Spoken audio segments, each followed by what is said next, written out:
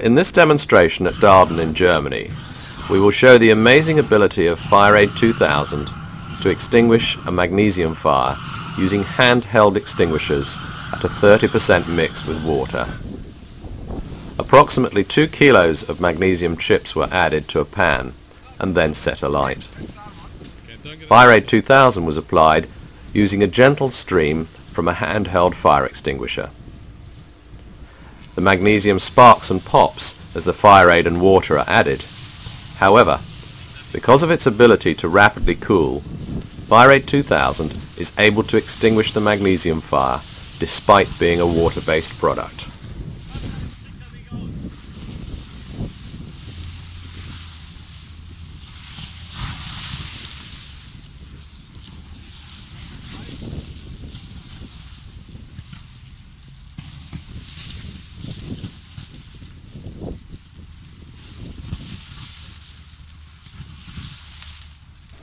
FireAde 2000 is a non-toxic, non-hazardous, environmentally friendly water-based product. It is able to successfully extinguish Class A and B fires as well as Class D, all using the same product.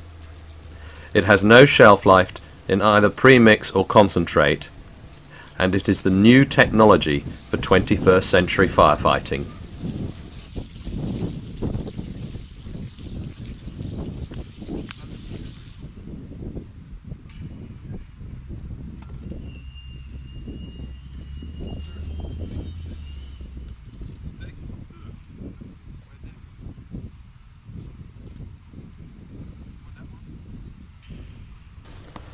The firefighter now agitates the pan to ensure there are no areas which can reignite, and then places his hand in the pan and picks up the magnesium chips to illustrate the tremendous cooling ability of FireAde 2000.